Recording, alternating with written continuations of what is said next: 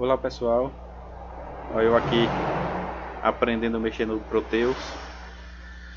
É, o circuitozinho seguidor de luz que eu postei aí o vídeo no grupo, né, algumas pessoas estavam tentando, não estavam conseguindo, né, o Fabrício estava tentando, não sei se ele já conseguiu, mas para quem não conseguiu, para quem tiver interesse, está aqui né, simulando no Proteus, aqui a bateria 12 volts, né, aqui o LDR alimentado por um, o resistor de 1K, né, que é o marrom preto e vermelho, marrom preto e vermelho, aqui o outro LDR também alimentado pelo resistor de 1K, né, ligado os dois né, no positivo da bateria, né, o positivo da bateria seguindo para o circuito no, normalmente aberto do relé, né, juntando no outro também aqui, certo? Aqui o diodo Zener, ligado positivo para esse lado e negativo para esse lado, certo? O outro no mesmo sentido, positivo para esse lado e negativo para esse lado, certo? Ligado aqui o LDR jogando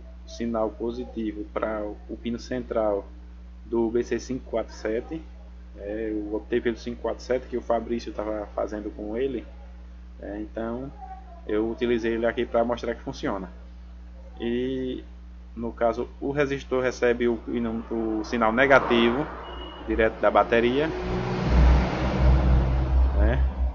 negativo né? E quando ele recebe o positivo do LDR, ele joga o negativo para o pino negativo do relé, que é da bobina do relé, certo?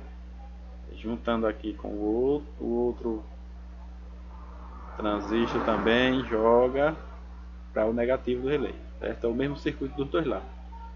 Então, aqui o normalmente fechado com negativo direto, normalmente fechado do relé, o normalmente aberto dos dois relés recebe o positivo e né, a bobina alimentada aqui pelo transistor e o outro lado direto no positivo certo?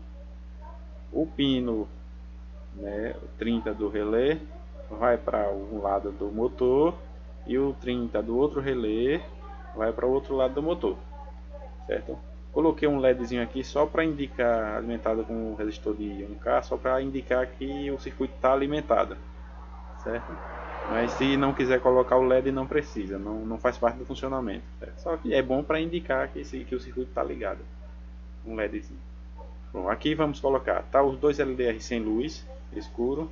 Vou ligar o do lado, vou emitir um pouco de luz no, no 1 Ele vai funcionar para um lado. Certo? Aí eu emito luz do, no outro, ele vai parar. Os dois estão tá com luz, então ele vai indicar que está alinhado com a luz. Certo? Se a luz cair né, em um dos lados, ele passa a girar para um lado. Se gira coisa do outro, se tiver luz de um e falta luz do outro, ele gira para o outro lado contrário.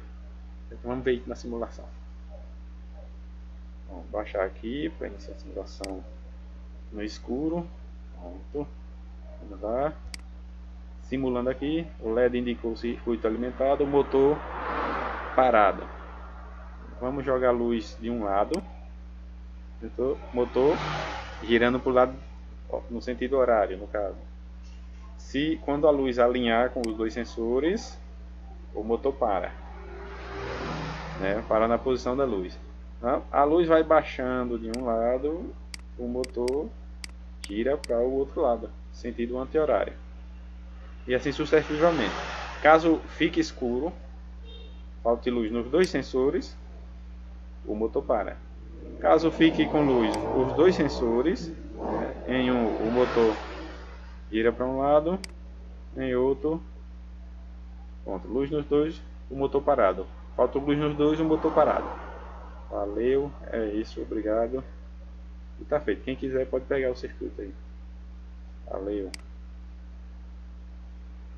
Ei, mestre Labafera.